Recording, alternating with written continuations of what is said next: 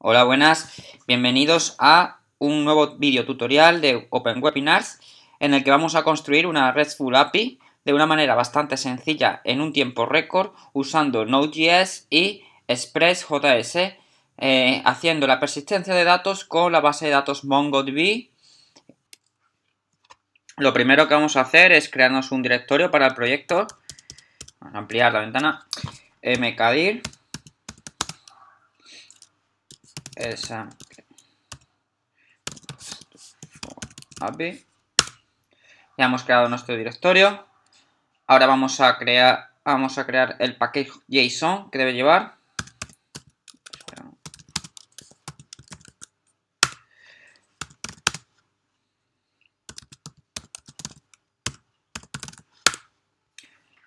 En este archivo JSON vamos a decirle el nombre del proyecto, desde dónde tiene que empezar el proyecto, desde qué script, y le vamos a decir las dependencias que usamos y que deben instalarse cuando iniciemos el proyecto.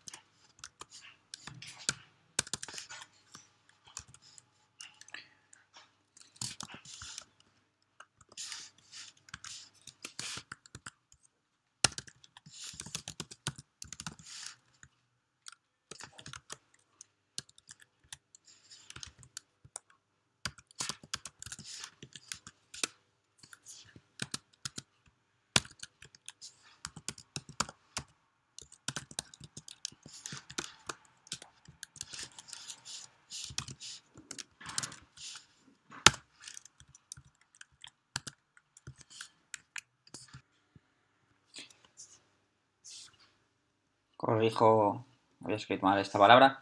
Bueno, aquí tenemos name con el nombre del proyecto, main con el nombre del script por el que tiene que empezar el programa y dependencies eh, Express, que es el framework que vamos a usar, MongoSkin, que es el driver que vamos a usar para poder acceder a Mongo. Eh, normalmente mucha gente usa Mongo, Mongoose, pero a mí me gusta más MongoSkin, mucho más simple, y Body Parser, que nos va a hacer falta para poder manejar los, los datos que nos devuelve una petición POST por JSON. Bueno, eh, guardamos el archivo y vamos para, para atrás. Bueno, ahora empezamos la instalación. Para ello vamos a escribir npm install. Esto lo que nos hace es instalar todos los módulos que nos hace falta hacemos un ls, vemos que nos ha instalado la carpeta node module, nos ha puesto ahí. Vamos a ver qué es lo que nos ha introducido ahí. Y vemos que es lo que le hemos indicado en, el package JSON. Por ejemplo, MangaSkin requiere que esté instalado MongoDB. Y se ha instalado también. Eh, Express y Body Parser. Bueno, nos aseguramos también de tener instalado, de tener corriendo eh, Mongo, la instancia de Mongo. Ya sabéis, eh, MongoDB, Y ahora vamos a abrir el proyecto eh, directamente en brackets.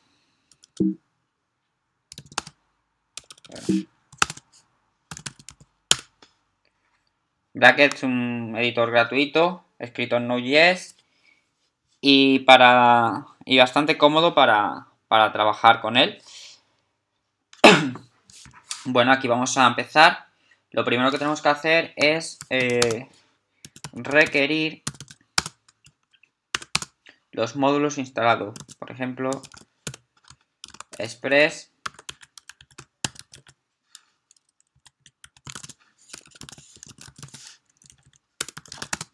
Por ejemplo, MongoSkin. Creamos variables donde contiene su instancia. MongoSkin.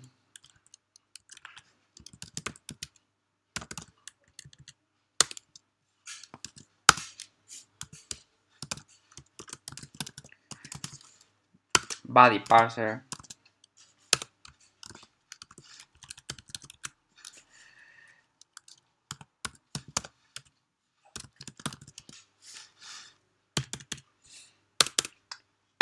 Ahora creamos una variable que se llame app que va a contener el objeto de conexión de nuestro servidor, de Express. Para ello hacemos express y lo ejecutamos. Esto nos devuelve, esto nos retorna el objeto express, con el que vamos a, manejar todo nuestro servidor. Vamos a hacer una serie de... Vamos a configurar nuestra base de datos, la conexión, una variable db, mongoskin.db y le pasamos la ruta que vamos a usar donde está corriendo MongoDB y el puerto. En este, este caso, nosotros estamos en localhost, puerto 27017 y vamos a crear una base de datos para este ejemplo. Test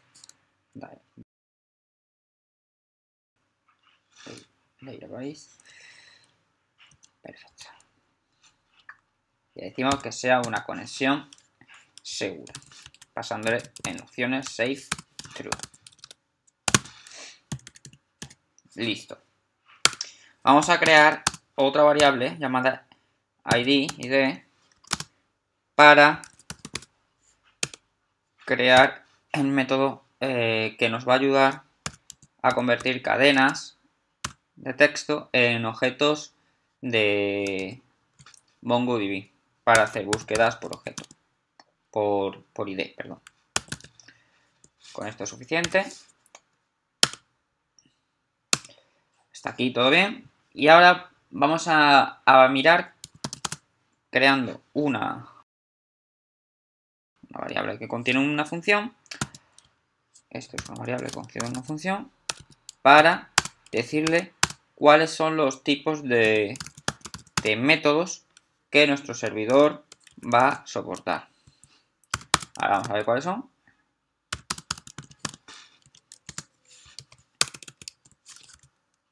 Por cada petición que nos llegue, le decimos que. Res, que response, header,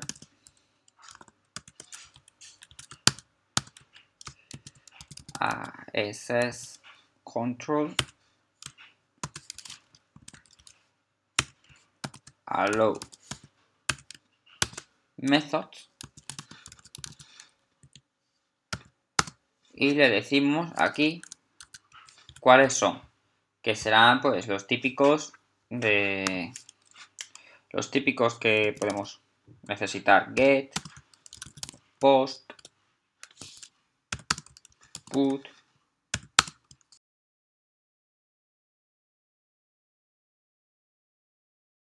Realmente vamos a usar estos cuatro.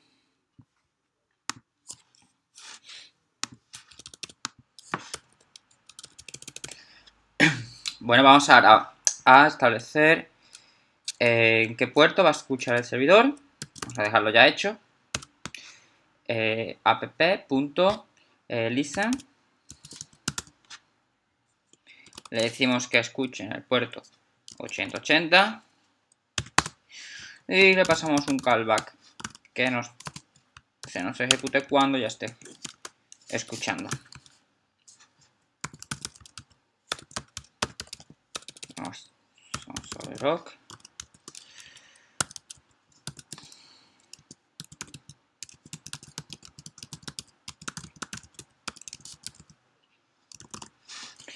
acuerdo. Eso por un lado y vamos a hacer eh, app.params, que vamos a determinar cuál es el comportamiento de un parámetro cuando nos llegue por nos llegue por por la URL decimos params el parámetro colección la idea es un momentito la idea es que vamos a recibir peticiones de este tipo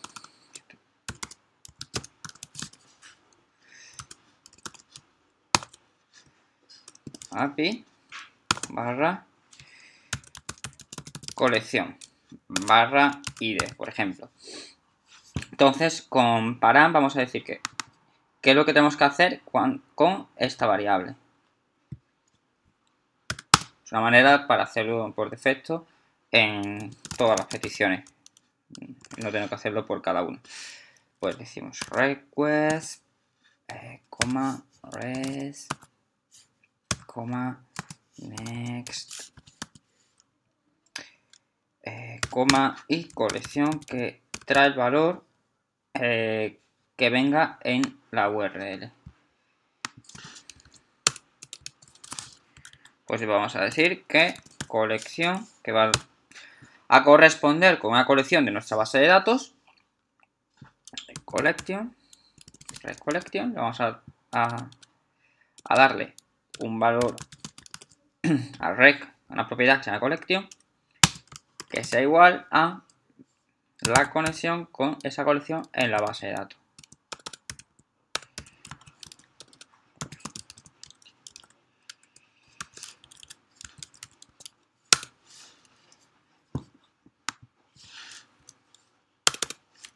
A continuación vamos a hacer, por ejemplo, el primer eh, post que podemos tener post para insertar un dato.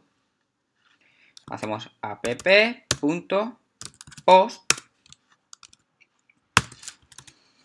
Pasamos cuál va a ser la ruta.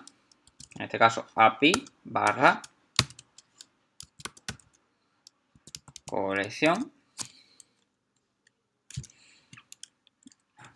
Y un callback con las cosas que tiene que hacer el request, el response y el next. En este caso decimos, bueno, pues si recibimos datos por eh, en esta URL en método post, vamos a insertarlo en la colección de la base de datos correspondiente. Como tenemos en collect, collection hemos definido el valor, es poner recollection va a ser lo mismo que poner db colección, la manera que nos ahorramos, punto eh, insert rec request.body, body son todos los datos en JSON que nos va a llegar por post. Por ejemplo, si tuviésemos eh, rec punto body punto por ejemplo nombre. Si nos llegara un dato en JSON que fuese body.nombre en este caso si ponemos body solo pues nos va, nos va a insertar el objeto entero. Eh, no pasamos nada por aquí. Y un callback con si hay error o el resultado de la inserción coma. Ahora hacemos el control del error, si hubiese, si hubiese alguno. Si error existe, retornamos next, o sea, pasa a la siguiente función. En este caso ya no hay más. Y si no, pues res.send envíanos el resultado. Para poder nosotros eh, coger los valores de en request body, tenemos que hacer en nuestro middleware decirle que use body parser. Entonces, mediante el, método use, vamos a ir añadiéndole algunas cosillas. Body parser punto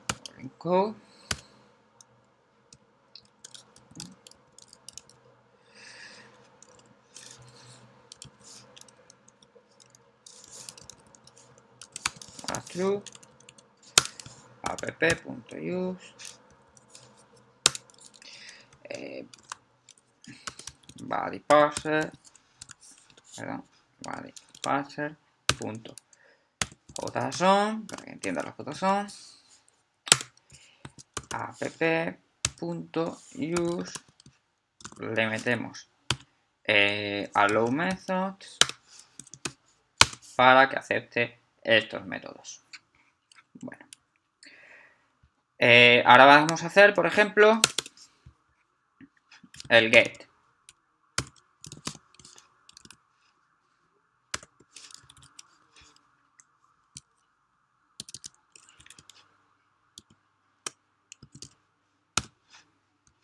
API, puntos, colección, que nos devolverá la lista entera de los valores insertados en la colección que le pasemos como parámetro en la URL. Next. Hacemos exactamente como antes. Collection.find un parámetro como condición.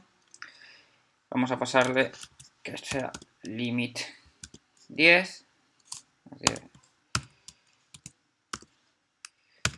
Y como orden lo ordenamos por eh, el ID, por ejemplo.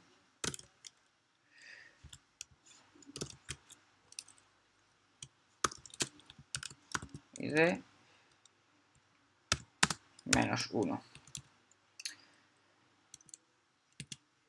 Lo que nos devuelva sea un array.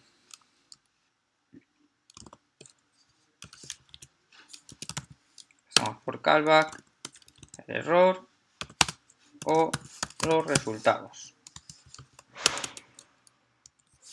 Hacemos exactamente como antes. Si el error viene con algún valor, lo retornamos. Decimos error, aquí también se vamos a poner, que antes lo he olvidado.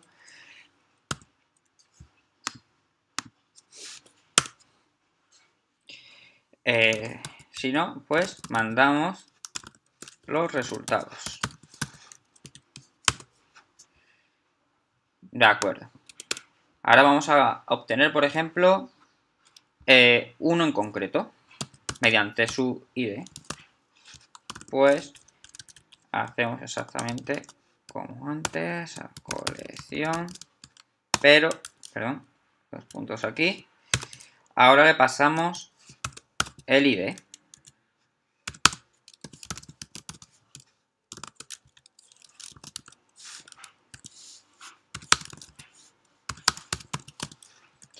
vamos a tener que hacer una búsqueda por ese ID. rec.collection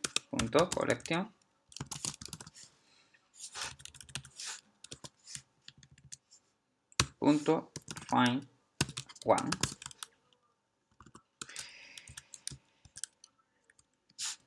Eh, le pasamos. Que el ID sea eh, perdón haciendo uso de la función que, declaramos aquí antes para que Mongo reconozca esa cadena como un objeto ID.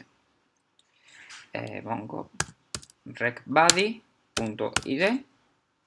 no, perdón, que no viene es params porque viene como parámetro punto ID. Y con eso eh, vamos a hacer la búsqueda mediante este ID.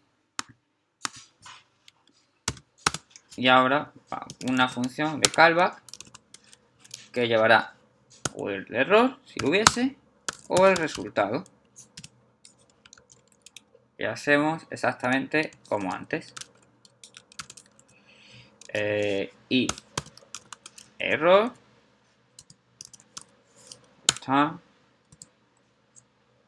next con el error. Si no, devuélveme envía el resultado del parámetro que hemos encontrado.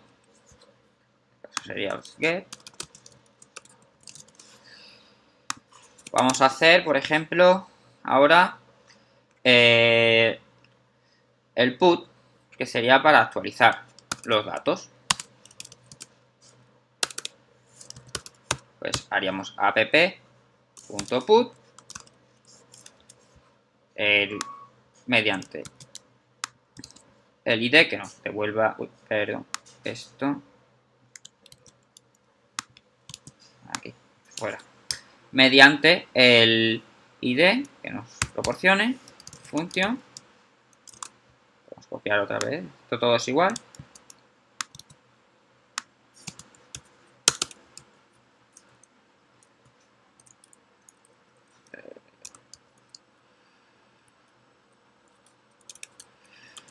Y ahora hacemos request, collection, igual que antes, punto, y en este caso decimos que update. Le decimos que busque en update eh, por el ID. Otra vez usamos la función ID, rec.param, que es para coger este valor por el nombre que le pasamos y en este caso, para que no machacase todos los datos con los nuevos, vamos a usar eh, set.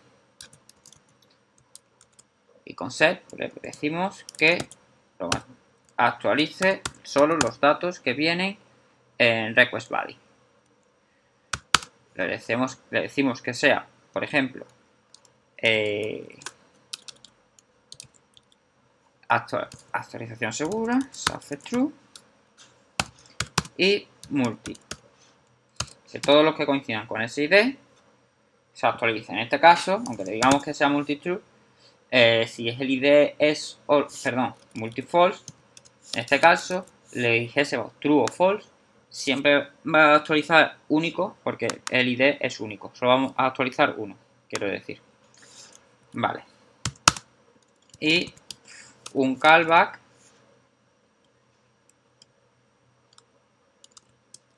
que nos devolverá el error o el resultado. Hacemos como antes, if. Error. Next. Devuelve el error. Si no si. If perdón, res.send, envíame, pues si resultado, en este caso, si resultado es igual igual a 1, es que se ha, se ha actualizado bien. Entonces me devuelves eh, este objeto. le llamemos, por ejemplo, resultado true o ok. Si no de un resultado. Cao. Ese sería el put. Ahora vamos a hacer el delete. Delete va a ser un poquito más de lo mismo, pues incluso, bueno, vamos a hacerlo rapidito.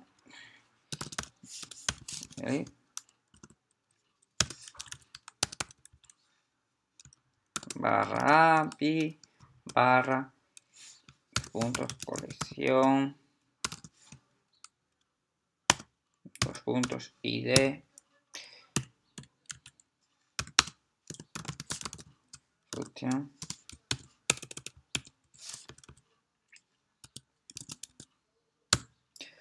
rec.collection punto remove. Remove y ahora aquí pues eh, le pasamos como hemos hecho previamente un id id rec.params.id y nos debe eliminar ese en concreto, ese, ese documento, esa entrada. Función, un callback, que nos va a hacer exactamente lo mismo que antes. Podríamos copiar perfectamente de aquí.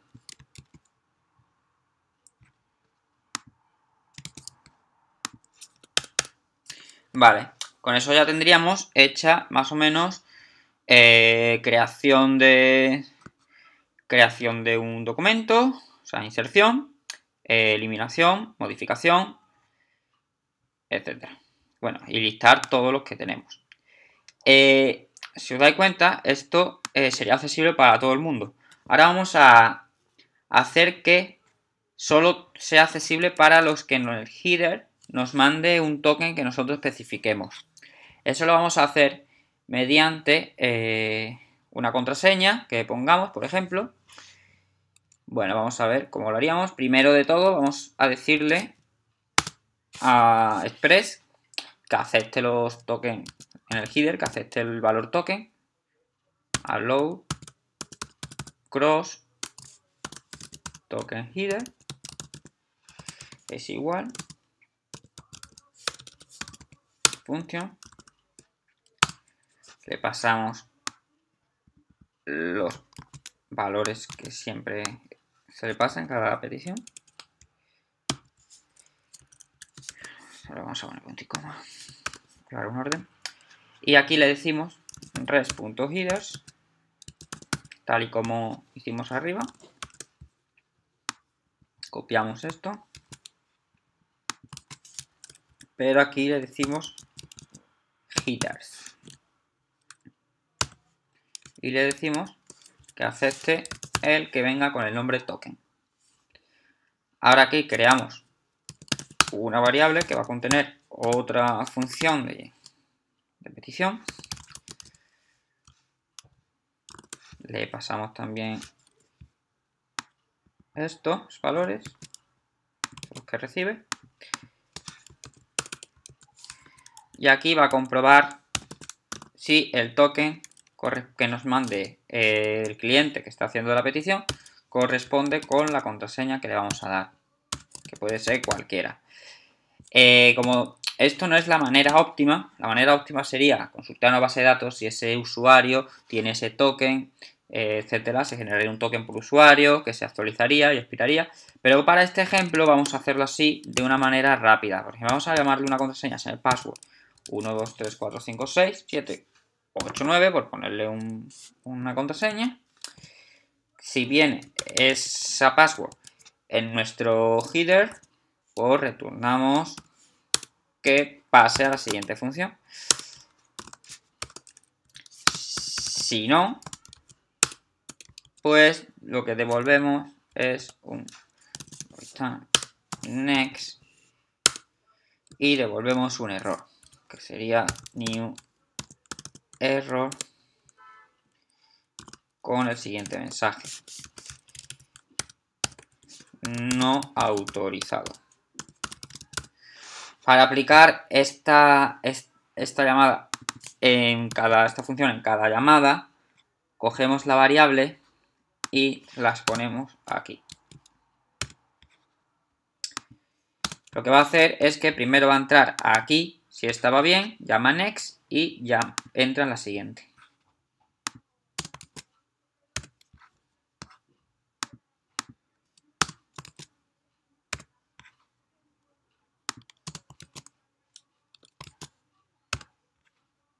Y listo. Con eso ya tendríamos un poquito más segura nuestra eh,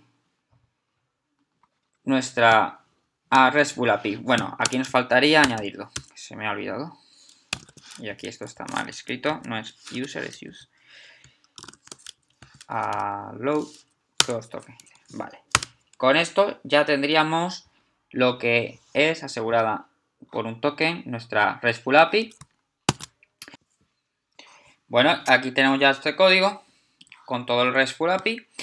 Eh, cabe decir que esta no es la manera óptima de, realizarlo porque deberíamos refactorizar código creando módulos aparte para meter nuestra lógica y nuestras rutas, pero eh, es una manera rápida para mostrar el funcionamiento. Eh, vamos a darle a Run. Y, por ejemplo, vamos a hacer una llamada, pues igual que está aquí, por ejemplo, a la colección... Vamos a llamar colección, por ejemplo, familia. Vamos a hacer esta llamada. Tengo esta aplicación de Chrome, ResClean, que sirve para eh, poder hacer peticiones. Vamos a hacer eh, una petición aquí. Esto lo decimos que sea Otason, que lo va a recibir. Por ejemplo, eh, hermano. O mejor, perdona. Tipo hermano. Nombre. Javier.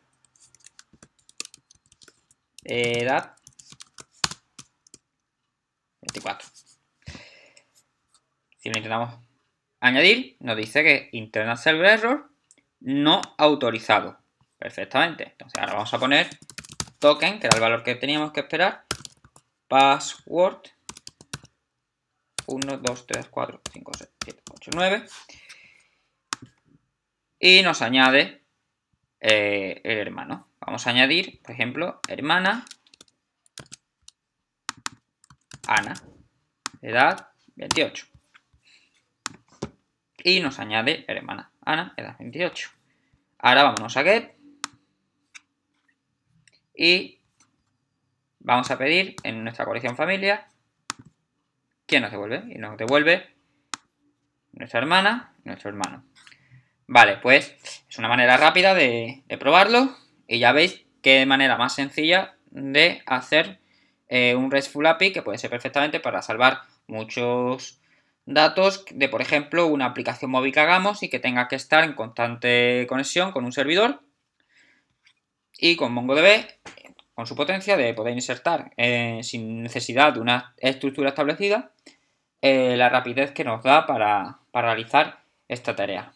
Bueno, pues con esto os dejo y iremos poco a poco ampliando los ejemplos y mejorando nuestra RESTful API.